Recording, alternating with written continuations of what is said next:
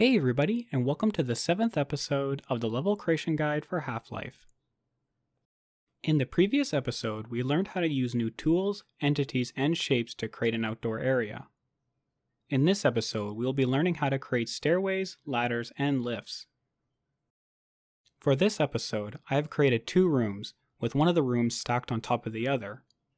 I have carved a few holes into the floor for each of our stairway, ladder, and lift to occupy as we progress through this episode. I have also added an info player start, item suit, and have a couple of light entities for both rooms. Now that we have that out of the way, let's begin with creating a stairway starting with our first step. Using the block tool, create a 16 unit tall, 24 unit deep, and 64 unit wide block.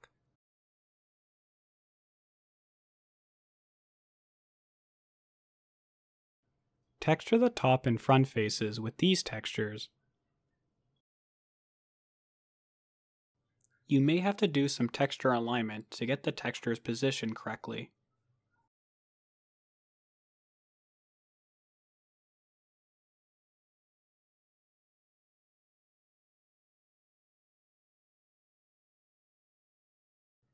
And texture the sides and back with this other texture.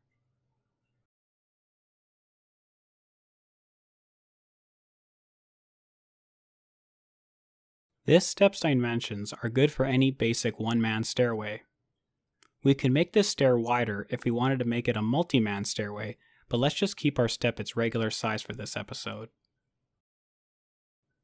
Now that we have created our first step, let's continue to build the rest of our stairway. To duplicate our step, simply hold shift and drag click it away from the original. Place each newly duplicated step in succession until we have 8 steps in total.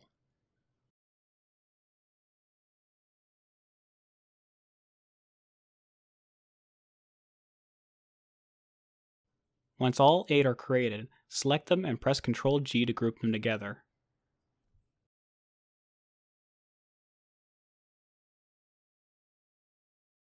There we go, we've created our first basic stairway. Now, before we continue to playtest our stairway, there's a couple improvements we can make to it. The first improvement is primarily an aesthetic one, we can make the underside of our stairway flat instead of blocky looking. To make our stairways underneath flat, select our stairway and use the clipping tool to cut diagonally across it using the side viewport. Be sure to highlight the top half white only by using Shift X to rotate through the cut options, and once ready press enter to cut. Once cut, fix any textures that might have been affected and that should be it. The second improvement we can make to our stairway is by eliminating the bump up effect. If we playtest our stairway in-game, the player will make a bump up effect with each step traveled. While this isn't a bug and is expected given the player traveling up 90 degree blocks, we can still remove this effect by creating an invisible slope across the tops of our steps to allow for a better transition between each step resulting in a smooth travel. To create an invisible slope, let's start by creating a block that completely covers our entire stairway.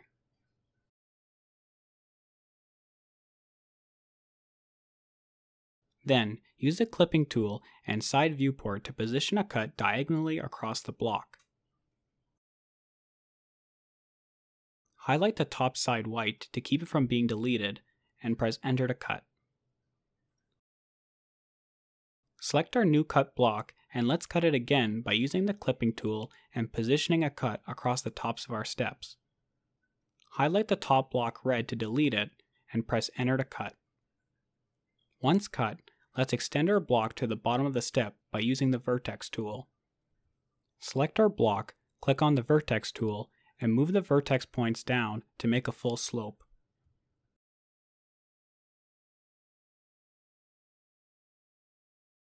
Now that a thin slope is built, all we need to do is make it invisible. To do this, we're going to have to use the AAA texture.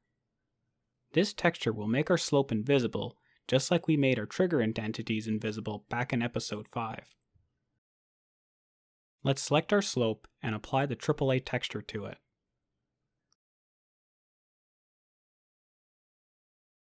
If we playtest our stairway out in-game, our entire stairway will be invisible. This is due to our invisible slope colliding and covering our entire stairway. An easy fix for this is simply transforming our invisible slope into a func wall entity. This will separate our stairway and invisible slope to prevent them from colliding. Let's now group our stairway and invisible slope together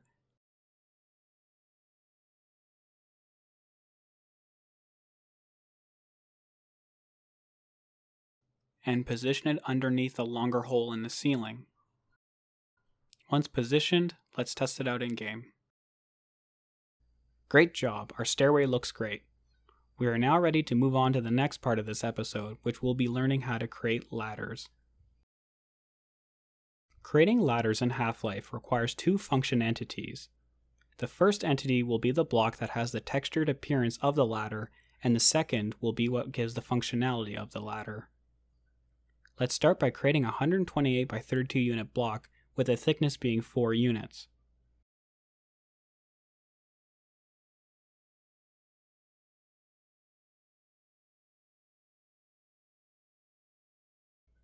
Texture the large faces of this block with the ladder texture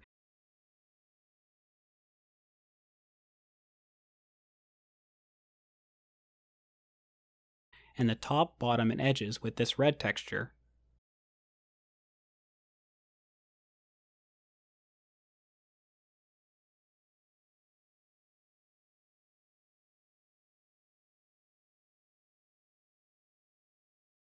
Transform this block into a func wall entity by pressing Ctrl T, and it will be transformed into a func wall entity by default.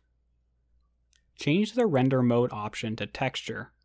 This will make it show our ladder texture and it will be transparent between the steps.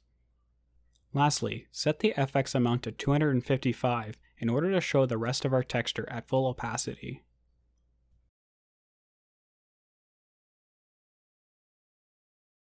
Next, create another 128 by 32 unit block, but this time with the thickness being 1 unit.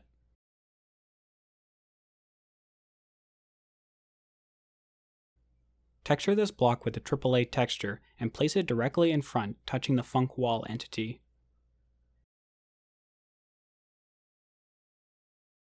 Select this newly created block and transform it into the func ladder entity.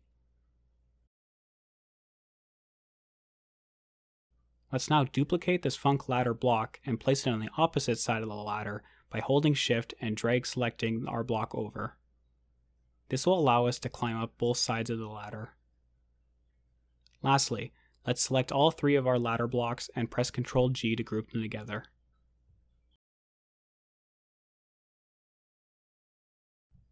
Now looking at the attributes section of the func ladder, it will reveal its lack of options.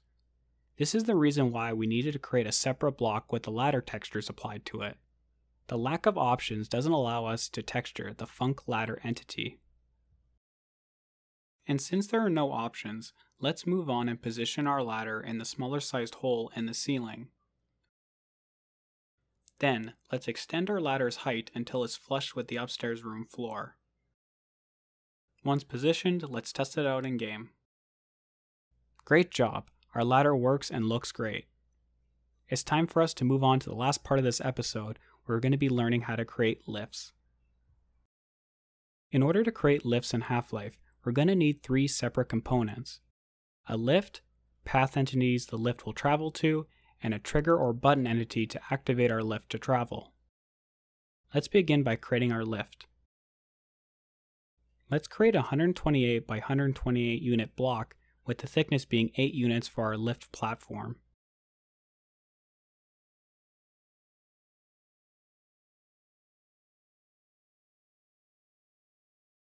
Then, let's texture our platform with this metal texture on all sides.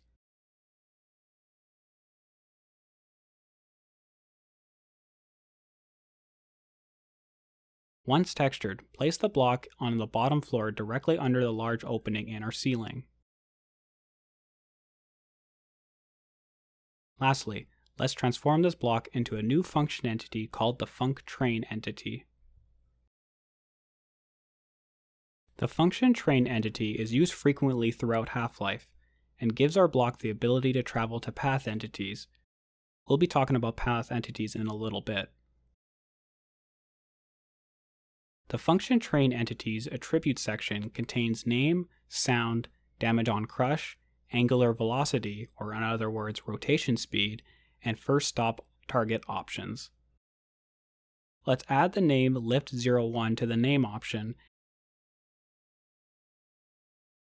and set the move sound to tech LE1. This will give our lift sound when moving. The first stop target option is where we'll be adding the path entity's name in order for our lift to know which path to travel. Our lift will also spawn on the first point of the chosen path in-game. Let's add the name path01 to this option, so in future we can simply add path01 to our path entity without needing to come back to this option. Now that our func train lift is all set up, we're ready to move on to the next component, which is path entities. Firstly, what are path entities? These entities are basically points, or stops that our func train entity will travel to when activated. Path entities are responsible not for just elevators, but for the opening train sequence in Half-Life. To create path entities, let's use an exclusive Jack tool called the Path tool. This tool allows us to create path entities without having to manually create them using the Entity tool, and also gives us an intuitive visual. To create our first path entity using this tool, let's select the Path tool icon and use the front viewport to create our first path entity. Hold Shift and left click anywhere between our first and second floor. A pop-up will appear giving us a few different options for our entire path. The name option is where we're going to be adding the name Path012. This means when our func train lift is activated, it will travel to this specific path. This is a really nice option as without this tool, we would have to string together a bunch of path entity names and it would just become a mess. Jack makes it much simpler by giving us one name for the entire path and it will follow our path points. The class option gives us two different path entities to choose from, the difference between path corner and path train is the application of what we're going to be using these for. For most cases, the path corner entity is the primary path entity to use, whereas path track is used specifically for another function entity called the func train track entity. Let's select the path corner entity as our class option. The last option is the direction. These directional options control what direction our func train can go between the path points. The one-way direction allows our func train to travel in only a single direction in the entire path. The circular direction is nearly identical with the one-way direction, but automatically connects the first and last path points together to allow for a continuous loop. This automatic connection also applies with just two path points, allowing a func train to travel between both points without a problem. And lastly, the ping-pong direction allows our func train to travel between path points as long as they're connected directly to each other. Due to a couple issues I've been experiencing with the ping-pong directional option, let's select the circular option for our lift and press OK. Our first path point is now created. This means we can build off this point by first selecting it and holding shift and clicking above it. You'll see a line connecting both of our points with two arrows pointed at each other. This indicates that our path can go between both directions and is now connected. We, of course, can keep holding down shift and click everywhere to expand our path to a bunch of different positions, but let's just keep it at 2.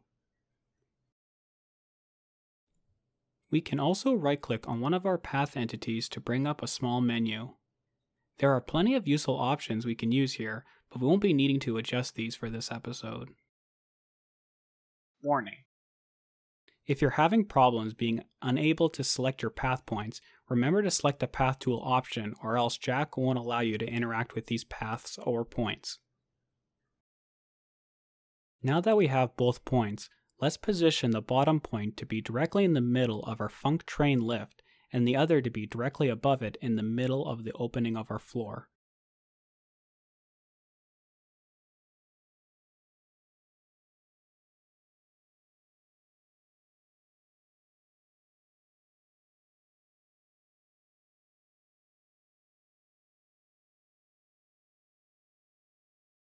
Once positioned, let's double click on our first path point to bring up its properties.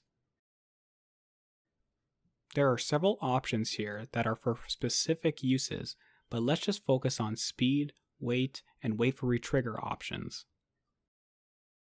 The speed controls how fast our lift will go in order to reach from the first point to the second point. A value of 50 is a good starting point for this option. The wait time is how long in seconds the lift will wait after being activated. This helps with giving the player some time before the lift begins moving. Let's add the value of 5 so we'll wait 5 seconds before moving. The wait before retrigger options stops the lift from continuously traveling without the player needing to reactivate it. Let's check this option so our lift won't do this. Click OK to apply the settings, and let's double click on the second point to bring up its properties.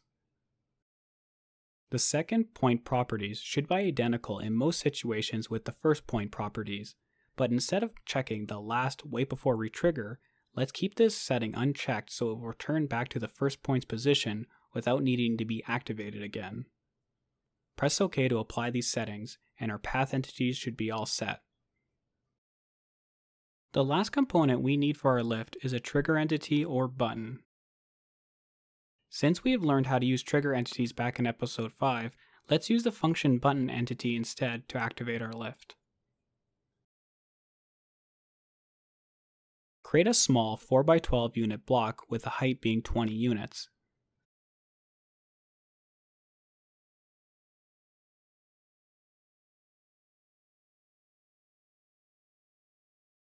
Texture the front face with this button texture.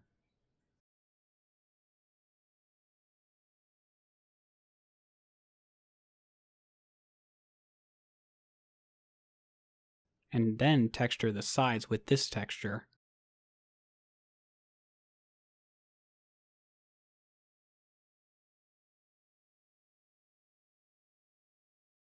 Position this block close to, but not on top of the lift, around the player's height.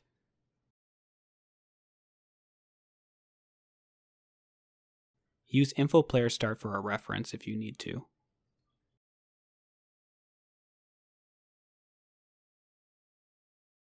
Once positioned, transform this block into the func button entity.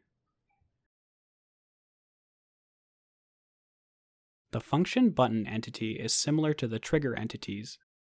The key differences are that the button is a visible entity and can be interacted with by damage, player touch, or by the use key. Another interesting thing to note about the function button entity is that by default it will recede when being activated. While this is a pretty cool feature that has some attribute settings we can adjust, it's not very much used and can be disabled in the flag section by checking the don't move option. For this episode, let's disable this option so our button won't move when being activated.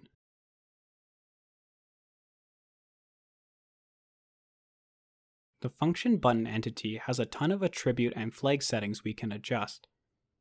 The most important option of this entity is its target option. Like the trigger entities, this is where we're going to place the name of the entity we wish to trigger once this button entity is activated. Let's add the name lift01 to our target section so this button will activate our lift. The next and second most important option is the health shootable if greater than 0 option. This option controls whether this button can be activated when damaged and has only two values we can use, 1 or 0. By default, this option starts with a value of 1, meaning it needs to be damaged in order to be activated. However, this also means it cannot be activated by players using the use key on it.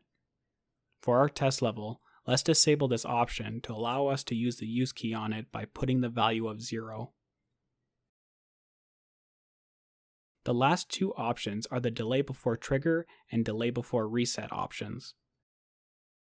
The delay before trigger gives us an option to put in seconds how long of a wait between being pressed and activating its target. Let's leave this at a value of 0. The delay before reset is the amount of time in seconds the button will be available to be pressed again after being pressed. We can also put minus 1 in this option to make the button only be activated once. Let's put a value of 15 into this option so it will only be able to be activated once every 15 seconds. Now before we playtest, make sure all your spellings for your name and target options are correct. If they are not, your lift will not appear in game. I actually made this mistake when making this episode and had to reduce some of the footage, so just be sure your names are correct and don't be like me. With all that said, let's playtest our lift. Congratulations, you have successfully learned how to create stairs, ladders, and lifts. Thank you so much for watching the video and I hope you enjoyed it. If you have any questions, let me know in the comments below and I'll try my best to help. I will see you next time in the 8th episode of the Level Creation Guide for Half-Life.